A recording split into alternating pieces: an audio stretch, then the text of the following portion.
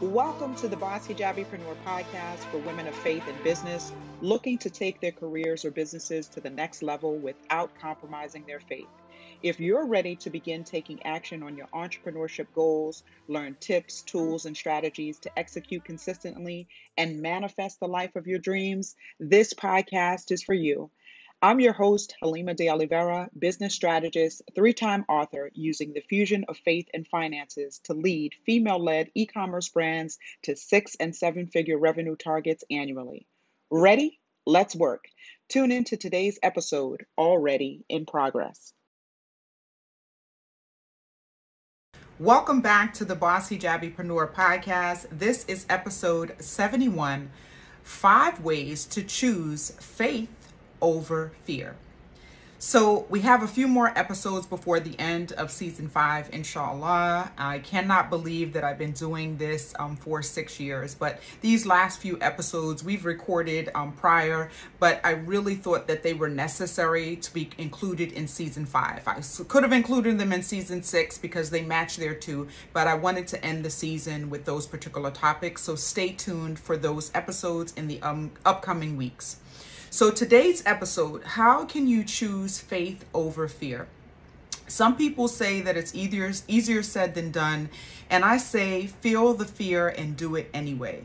Um, this podcast is proof of that. This podcast is proof of me, you know, feeling the fear, not necessarily knowing how to use the technology, not necessarily knowing what I was going to talk about, if people were going to, you know, understand what I was talking about, if this was even going to um, catch on.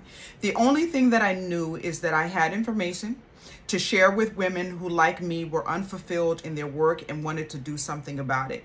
But they needed help, they needed resources, they needed information. And so here we are, six years later. When you have tawakkul, which is trust in God's plan, you operate with yaqeen, which is certainty. The more you know God and the reason for your creation, it's a lot easier to move with that sense of certainty to make more firm decisions. You operate knowing that no matter the outcome, it's what's best for you. And this is something that me personally, I've had to grow into. Many of the women that I speak to, to that are on their business journey, that they themselves have to go through is having that complete trust that no matter what's happening, no matter what's going on, that um, at the end, they're going to have the best outcome. So here are five ways to choose faith over fear. One, get to know God. Open up your book of choice. In my case, it's the Quran. Open it and reflect on the words. How can you apply what is written to your life, to your business? Is this an area where you are courageous or fearful? If it's an area where you're courageous, keep building if it's an area where it's an area of opportunity, it's an it's an area where you're fearful, work on that area. Maybe you don't trust yourself to make sound decisions in a spouse, a friendship, or partnership. Write down what you want, and that's that's something that we have to do as women. We have to start writing down what we want. Sometimes it's hard for us to articulate the feelings that we have. The, the emotions are are gushing and, and, and rushing through, and we we don't necessarily have the words or can't find the words. Writing, I know, helps me, and many women find journaling and writing things down helpful. So play into that. Play into who you are and start to write those um, things down. What you want in a friendship what you want in a spouse what you want in a business partnership what you want in an employee if you are a business owner. That i work on a lot with my clients because sometimes and they have it in their head what they want but they haven't written it down to be able to see it. And and when you write it down and and you see it when that person comes up when that person says something out of your mouth it automatically takes you back to that list that you wrote. Okay this this is a check mark. That person has this particular quality that i'm looking for in that new employee that i'm looking for in a spouse that i'm looking for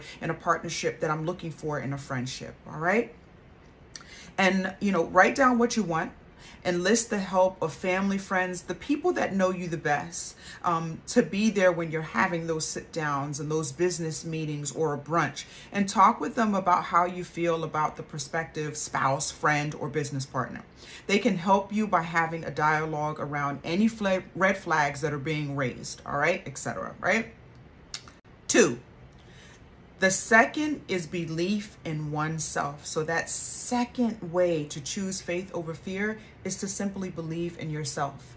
God has blessed you with everything you need in every single moment. He wouldn't call you to be in a room or situation he wasn't prepared to see you through. If you're there, be there fully, be present. I remember going on a retreat to Mexico, and uh, the name of the uh, yoga studio that was um, near the um, villa where we stayed was called Present Moments. And one of the things that they talked about was being present in every single moment.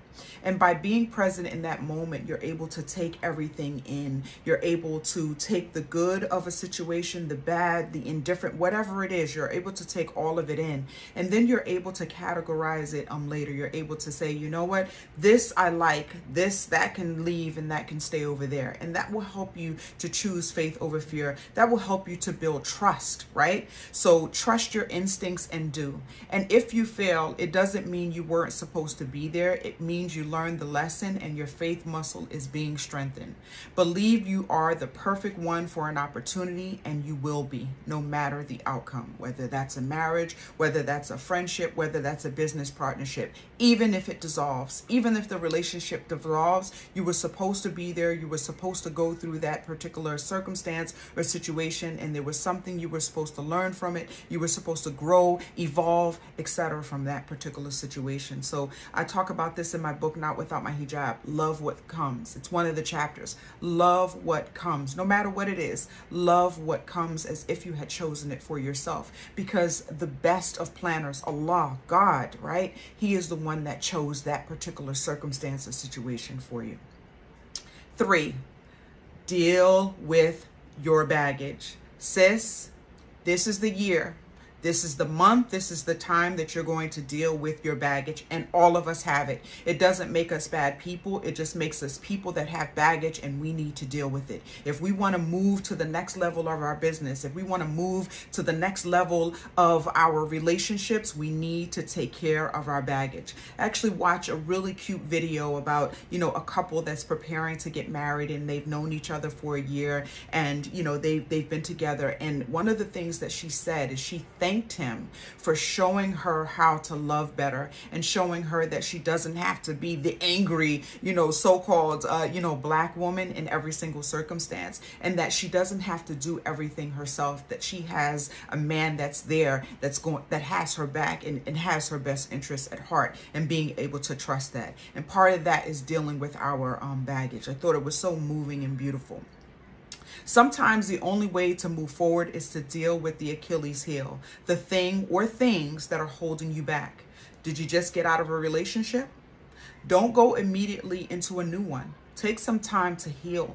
Take some time to reflect on what you did well and what areas of opportunity you have to do better for the next relationship. By dealing with your baggage, you won't have the fear that you will repeat the same missteps in a new relationship. And sometimes we have our guard up, and we have our guard up because we haven't healed. We haven't addressed um, certain things. And so it's like the thing that didn't work in that particular relationship, instead of us letting it go and attributing it to that relationship or the relationship just not working out or the chemistry of the two people in the relationship not working out, we attribute it to relationships as a whole. And then we put our our guard up and we say to ourselves, okay, that's it. You know, I'm either never going to be in a relationship or um, when I see that type of thing happening, that's it. My guard is up and I'm, you know, never listening to the person again, et cetera, et cetera, et cetera, right? You will go into the new relationship with more faith in yourself and the outcome of the relationship that confidence will add positively to the new relationship. And to put it out there, frankly, you're less likely to bleed all over someone who didn't cut you. It just goes back to what I just said a moment ago is, you know, putting that guard down and trusting and trusting yourself, trusting, you know, the creator, Allah subhanahu wa ta'ala, that, you know, this is the person for you and going into each uh, relationship new and going into a friendship, a partnership new and not necessarily with that baggage from the previous um, relationship. And another thing that you could do is you could be upfront and you could say, hey, this is something that has happened to me um, in the past, or you know, um, and you know, it's a it's a red flag for me. It's something that I don't want to have happen in the new relationship. So just letting you know that this is something that you know um, is a trigger for me, and you know, it could make or break break the relationship, or it's an area where we may have to um, you know spend our time focusing on um, you know growing in that um, particular um, area. Number four, choose to come out of hiding. And as women of faith, as uh, women who cover, and I feel like this happens for women of cover uh, of uh, who cover because it's easy for us to cover, right? So to find that uh, cover. And so let me explain this a little bit. We use the way we dress as an excuse as to what we can't or don't have you know, or why we don't have certain achieve, uh, uh, achievements, right? So why we can't go after certain achievements or why we don't have certain achievements. And here's what I'm going to say. As long as you're not going against the tenets of your faith, the way you dress, your values and beliefs are not what are holding you back. I'm going to say that again. As long as you're not going against the tenets of your faith, the way you dress, your values or beliefs are not what are holding you back you are holding you back. Choose to come out of hiding. You may be hiding because you're afraid of judgment. You're afraid of people finding out the real you. And the real you could be angry. The real you could get upset at things. The real you could do, you know, have all of these, you know, quirks to you, right? That may not necessarily be seen as, you know, appealing um, to other people, right? We're all on a journey. We're all on a journey from a place to a place, and in between, um, we, we figure things out and we and we, we work to become better people, right? So none of us are perfect. So you don't have to be afraid of judgment and people finding out the real you, right? The people who love you will love you as you are, right? The people who love you will love you as you are. Finding out you have goals. So some people may judge you because they find out you have goals, dreams, and ambitions. How dare you want to get out the hood? How dare you want to better your finances so you're not living paycheck to paycheck? We've always done it this way. Some people may say, "Hey sis, we've always done it this way. This is this is how people where we're from, this is this is how they get through life, right? And we're only supposed to have this little bit more than than than what we've had before. How dare you dream outside of that little bit that we're supposed to get? How dare you leave our circle of friends? If you do that, then we won't be able to hang out anymore. I hear this a lot. And this may be the number one reason women in business fail just being honest. They don't want to leave their friends behind. Here's a food for thought. Why don't we adopt this mindset instead? When we see someone else doing better or working on doing better, why don't we join them? Why don't we level up ourselves? We have to get get the we have to reverse the group think mentality. If one is trying to get out, so to speak, right? Let's figure out how we can all get out instead of the crabs in the barrel. Oh that person is trying to get out. Let me pull that person back because we all to be here together or or or it, it, it's it, it's not to work right? One person can't get out. One crab can't get out if all if the rest of us are not getting out right? Not realizing that that one crab that gets out may have a ladder may be able to throw a rope down and help everyone else out. And insert the harriet tubman reference here right where she was she got herself free and then she came back to get other people but i'm sure there were some crabs in the barrel during her time like hey how dare she oh let me go and tell massa that you know harriet tubman is trying to escape because you know if she, she, who, who does she think she is trying to get free Harriet Tubman always knew she would she she needed to know the way herself so that she can help the rest of her people out. Right? Number 5. Choose to pray your way out of the fear rather than feeling only fear. When you worry, you suffer t- twice. When you're fearful, you suffer twice. And you allow the fear to paralyze you, you rob yourself of knowing if that thing could have worked out. So when you, you let the fear overtake you and you let it, you know, you, you let it say, okay, well, I'm not going to do that thing because, you know, I'm too afraid or, you know, what if this happens? What if this happens? What if this happens? Guess what? Our next moment is not even promised. Our next day is not even promised. Next month, next year, none of it is promised. And we could what if things to death. We really and truly could what if things to death. We really could. But I'm asking you not to. Prayer is not just thinking it or saying it. It's writing it down and then moving towards it. That's faith. It's not knowing the outcome, being afraid, but knowing with certainty. Here comes that yaqeen again, right? That God controls the outcome. And with him in control, the outcome is going to be what's best for me, no matter what the outcome is. I pray that this is helpful. And I wanted to keep this short and sweet so that you could listen to it on your lunch break and make sure that you share, share it with another boss hijabipreneur or your business bestie. My inspirational quote of the week we said, Descend, all of you. Then, when guidance comes to you from me, whoever follows it, there will be no fear for them, nor will they grieve. And that's from Surah Baqarah, verse 38. This episode was brought to you by the Boss Hijabi Society.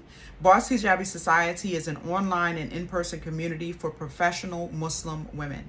Boss Hijabi Society uses a multidisciplinary approach to help heart to help like-hearted women reconnect their spiritual foundations to other aspects of their lives. Begin healing by being proactive about their wellness and grow financially. Their monthly programs centered around the aforementioned areas are designed to increase each member's confidence in those areas and lead them to living out productive and successful lives. So visit bosshijabi to learn more. This has been another spectacular episode of Boss Hijabipreneur, brought to you by BUNHD LLC and the Not Without My Hijab stage play. To find out more about services for women of faith in business and the next city up on the tour, visit www.bunhd.com. It is our hope here at BUNHD that after each episode, you will be empowered to have a deeper connection in your spirituality, personal, and business relationships. As women of faith, we have a responsibility to learn our religion, apply it to our daily lives, and to make a positive contribution in our local and global community.